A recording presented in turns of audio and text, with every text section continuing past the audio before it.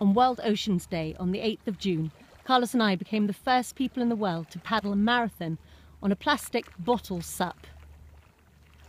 to raise awareness of the huge global threat of plastic pollution in the ocean.